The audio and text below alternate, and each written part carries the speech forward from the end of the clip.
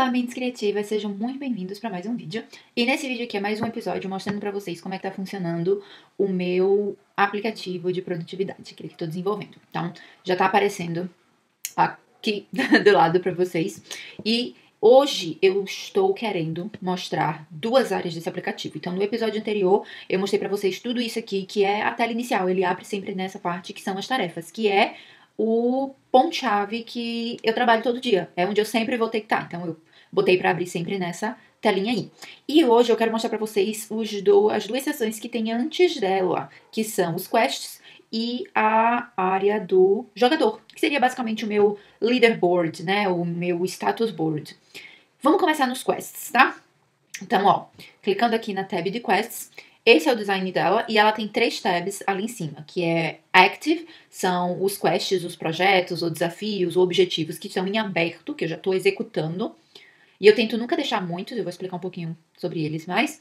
E eu tenho também o Available, que é o que está disponível. Ou seja, foi uma ideia de alguma coisa que eu queria fazer, eu já coloquei ela aqui registrada, e aí eventualmente eu volto para ela e eu verifico. Vale a pena eu começar isso agora? Não vale a pena? Mudei de ideia, não é um desafio que eu quero fazer? Ou vale a pena agendar para um outro momento? Aí elas, elas ficam ali para eu poder mexer nelas. E os completos, você pode ver que eu já tenho aqui alguns completos, estão aqui nessa aba Completed, tá? Vamos voltar aqui no Active.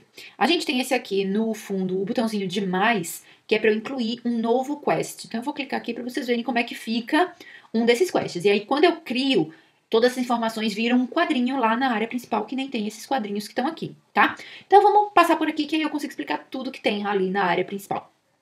Eu vou ter um título para o meu quest, que vai ser basicamente o nome do projeto. Relatório tal, ou viajar para tal lugar, ou investir tantos reais, não sei, tá? Fica aqui é, o nome do projeto. E eu, geralmente, por gostar, por ter feito o sistema gamificado e gostar de botar gamificação na minha produtividade, eu coloco sempre o nome gamificado, nome mais é, fantasia, assim, sabe? Eu crio um nome e ponho aqui.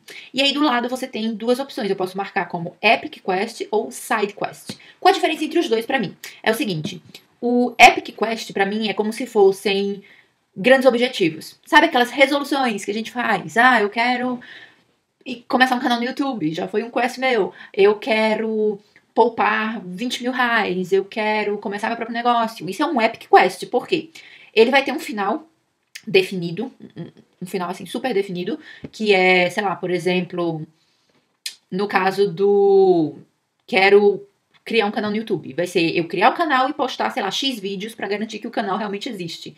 Então eu tenho esse final. Quando eu cumprir tudo isso, o quest tá finalizado e vencemos o quest, tá tudo certo. Aí tá, beleza.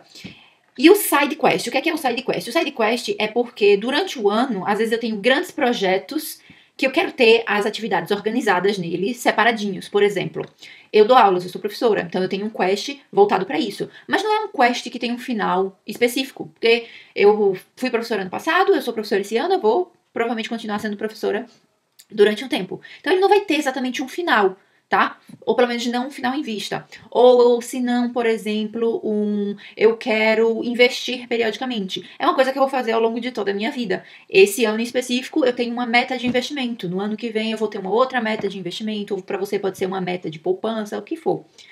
E aí ele não tem exatamente um final tá? Eu faço todo ano eu faço essas coisas de novo.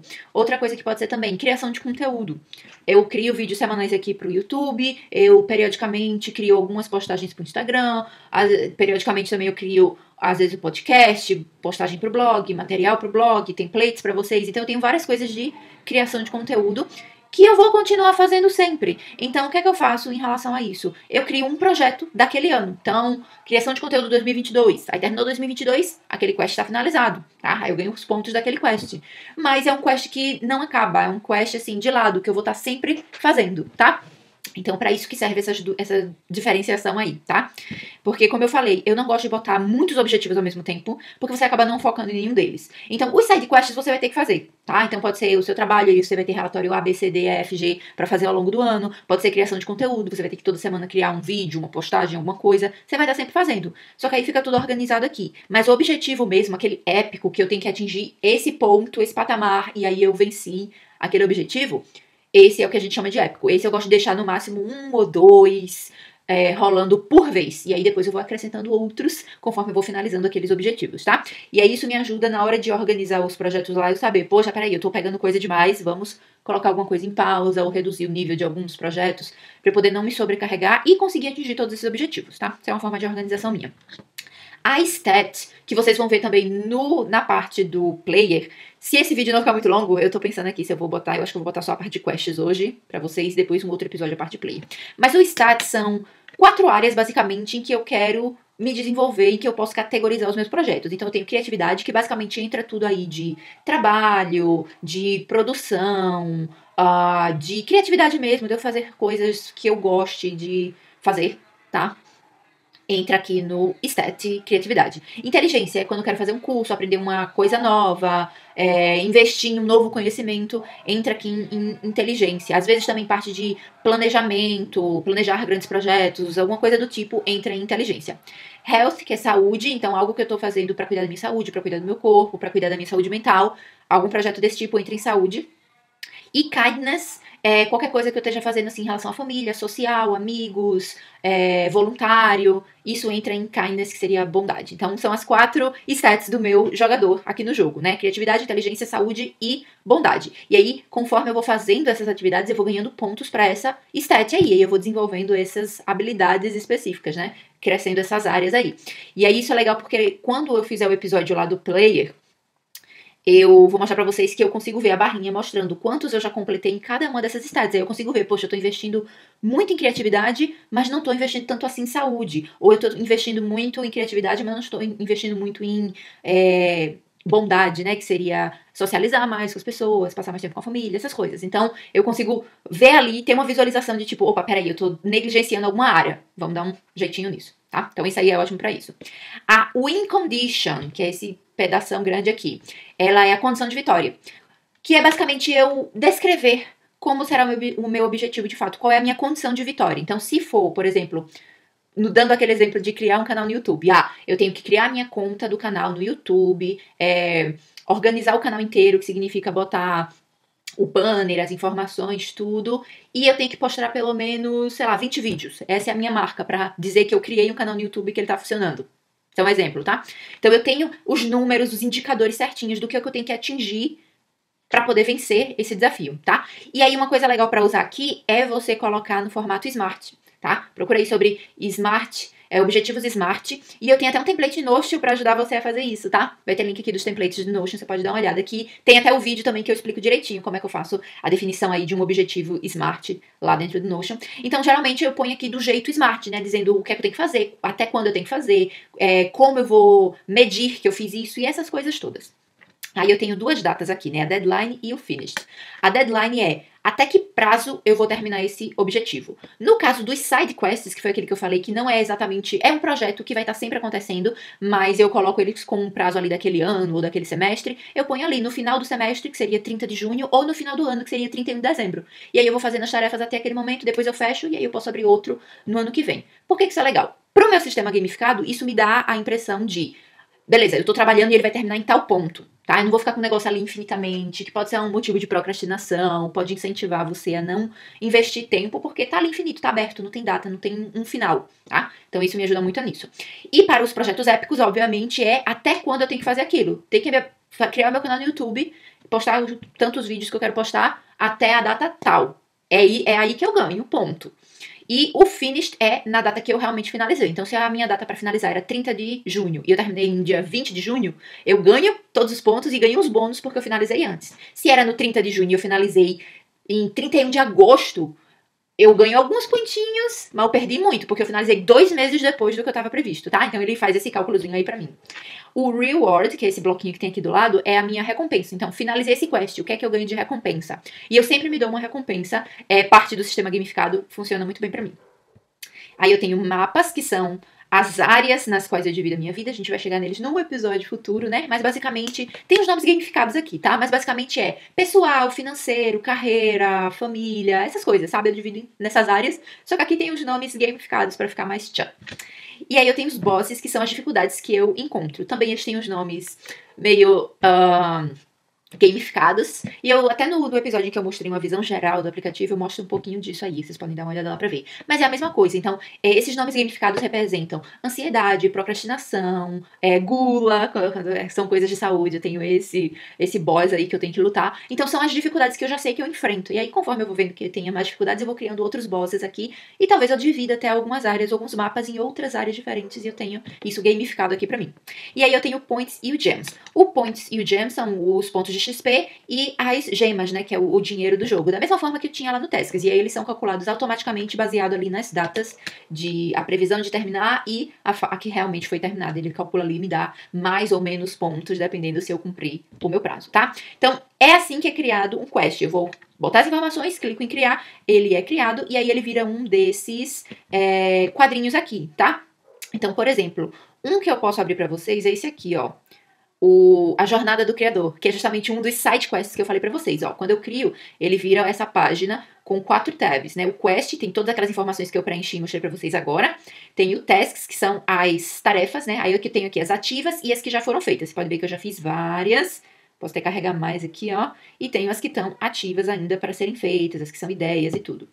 Tenho o truth. O que é, que é o truth? Nesse aqui eu não tenho nenhum truth colocado, mas eu posso entrar em algum aqui para mostrar para vocês. Vamos entrar nos completos, que nos completos eu tenho tudo isso colocado. Então, por exemplo, ó, eu vou entrar aqui nessa Portal Update, que foi a atualização do meu site, que era uma coisa que eu tava querendo fazer já há muito, muito tempo e não tinha feito. Eu transformei no Quest e fiz, ó. Todas as informações aqui preenchidas, o título, descrição, o tipo, que é um Epic Quest, né? Foi um negócio, foi um projeto assim de momento, era um objetivo que eu queria atingir. Aí as datas, tudo, as tarefas, eu tenho aqui, e no caso da completa, né, da, de um quest que já foi completo, ele não tem o ativo e o, e o feito, né? Ele só tem uma página porque já foi completo, já tá tudo feito ou cancelado ou o que for que aconteceu com aquela, com aquela atividade. Então vocês podem ver aqui. E aí, ó, tem as atividades, né? Criar o blog, checar quais páginas já foram criadas, listar as páginas que eu tenho que criar. Enfim, tá tudo aqui. O truth, ah, nesse particular não tem o truth. Mas o que, é que seria o truth? Deixa eu ver se eu tenho algum finalizado aqui que eu possa mostrar como truth para vocês. Eu acho que o explorar a terceira dimensão. Foi um curso que eu criei. Pronto, eu tenho, ó. O truth seria momento de verdade. Foi um, um conceito que eu desenvolvi, porque é o seguinte, às vezes você encontra uns empecilhos, às vezes você encontra momentos de ansiedade, gente, às vezes você encontra momentos de dificuldade. Quando eu encontro esses momentos, eu venho aqui e eu faço um mini diário e eu digo, hoje eu não consegui cumprir as tarefas, ou na última semana eu dei uma parada nesse projeto porque eu tava me sentindo assim, assim, assado. Ou podem ser coisas boas também. Não precisa, o momento de verdade não precisa ser só coisa de dificuldade, não. Pode ser coisas boas do tipo, nossa, eu tive uma ideia muito melhor, vou mudar completamente meu projeto e vai ficar muito mais incrível porque eu tive ideia tal e tal e tal. Aí eu faço esse diário. Às vezes não é preciso, às vezes não aparece alguma coisa assim de ser registrada no momento de verdade, que nem vocês viram lá no, no é, atualização do site, né, que eu mostrei anteriormente. Nesse daqui, por exemplo, eu tenho dois momentos de verdade. É, eu estava tentando postar esse curso, é um curso de lettering 3D que eu postei no Skillshare. E aí eu tava tentando postar e tava sempre dando erro, e aí eu tava ganhando uns strikes da plataforma, e aí estava me frustrando bastante. Aí eu escrevi aqui sobre isso, e também teve outro momento em que eu. Eu falei da mesma coisa, na verdade, é porque foi realmente um problema que eu encontrei. Eu tava tendo uns strikes e eu não conseguia descobrir o que, é estava acontecendo, e aí demorava um pouco para ter comunicação com o pessoal da plataforma, e aí estava me frustrando muito, aí eu despejei aqui, que era pra botar para fora, acalmar e não desistir do projeto, tá? E aí no final deu tudo certo. Então, os momentos de verdade são para isso, são meio que para um desabafo, um diário. E depois eu tenho a reflexão. A reflexão é a vitória. E aqui, ó, eu tenho um, um cartão que tá com uma tagzinha aqui, ó, win vitória. E aí eu descrevo, né, eu ponho a data em que eu terminei o projeto, em que eu consegui a vitória para esse projeto, e aí eu descrevo aqui como é que foi, ah, eu aprendi, o que é que eu aprendi, como é que foi o projeto, o que é que eu faria diferente se eu voltasse para fazer um outro projeto parecido, porque aí depois eu posso voltar e revisar isso, se de repente aparecer um outro projeto desse tipo, um outro curso para eu fazer. Então, as lições que eu aprendi ali com a dificuldade de postar o curso, se eu for postar outro e de repente tiver essa dificuldade, eu posso voltar aqui e ver o que é que eu tive que passar daquela vez, como é que eu resolvi? Então isso me ajuda muito nisso. Inclusive já usei. Mas deixa eu entrar em outro aqui para mostrar para vocês, porque essa condição de vitória não precisa ser só uma postagem na vez que venceu. Por exemplo, a estratégia do herói. O que era a estratégia do herói? Era justamente eu criar esse aplicativo aqui que eu tô mostrando para vocês. Esse era o quest, a estratégia do herói. E aí no reflexão, ah, no reflexão eu só tenho uma mesmo. Mas você pode ter mais de uma. É, eu achava que eu tinha duas aqui, porque foi o seguinte: eu completei o quest, mas eu não quis fechar ele, não quis botar ele como completo. Eu completei e coloquei lá que eu tinha completado porque eu tinha atingido os pontos que eu queria atingir. Só que aí surgiram outras, outros pequenos detalhes que eu queria inserir no aplicativo, que eram só detalhes extras mesmo. Eles não iam interferir na minha vitória já de ter conseguido criar o aplicativo. E aí eu poderia criar um, um uma reflexão depois de novo, dizendo, pronto, agora finalmente estou fechando o meu é, o meu quest, porque isso, isso, isso e tal tá? Então, pode acontecer também. Então, eu deixei aberto para poder colocar quantas eu quisesse, tá? E aí eu tenho isso. Então, eu tenho os ativos, os quests ativos, que são os que eu estou trabalhando, os que estão disponíveis, que são aqueles que eu, que eu já tenho ideia de que eu quero fazer, e aí eventualmente eu volto lá e começo a fazer, e os que estão completos, que foram os que eu finalizei, tá? Eu vou terminar esse vídeo aqui porque ele ficou mais longo do que eu imaginava que ele ia ficar, e aí num próximo vídeo eu mostro pra vocês a parte do player, no próximo episódio. Realmente eu vou ter que fazer um episódio por cada uma dessas funcionalidades, senão vai ficar enorme. Espero que vocês tenham curtido, digam o que vocês estão achando do aplicativo, me deem ideias, tem gente que tá dando comentários muito bons, e eu tô vendo como implementa algumas das sugestões, e tá valendo muito a pena. Então eu gosto muito de receber as sugestões de vocês. Comentem aí embaixo, deixem o like, compartilhem se vocês gostaram. Eu vejo vocês no nosso próximo vídeo, e até lá, mantenham-se criativos.